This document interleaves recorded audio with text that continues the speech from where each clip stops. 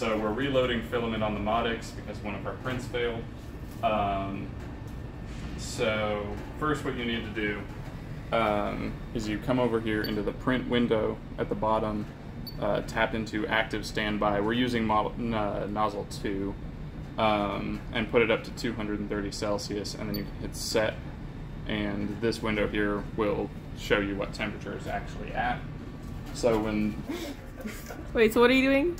Reloading new filaments and just pushing it into this little blue nozzle that's at the top of the printer um, until you know the filament is white and the tubing is white so i have no idea where it is. Um, okay. And that is pushed all the way through.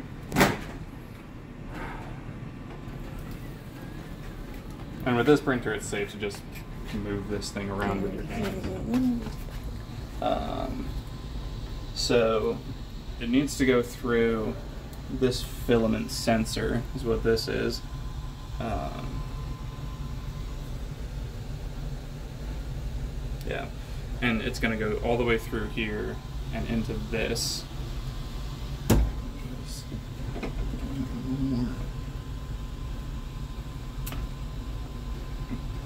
Okay. And if you need to, it's also safe to just pop this white tubing out. Or at least that's how Gray did it. Yeah, so that you can actually handle the filament.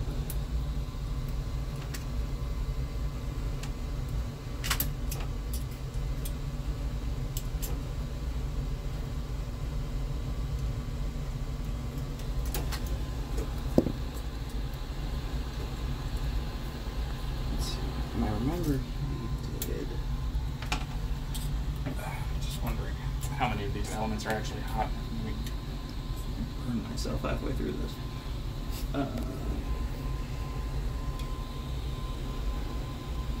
where?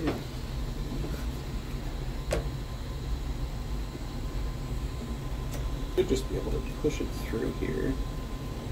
It's a little stiff, but. Maybe that's some fun. Okay, what are we doing?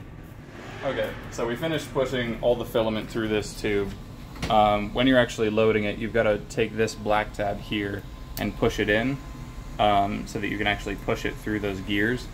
Um, and then hit extrusion. Um, let's do 10 millimeters. Extrude.